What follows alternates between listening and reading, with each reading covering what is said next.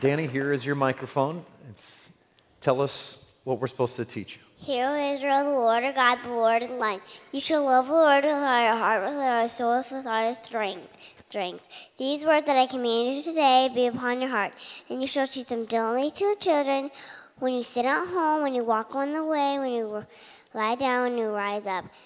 And you shall find them as signs they shall be friends between your eyes, and you shall write them on the doorposts on your house and on your gates. Good job. Amen.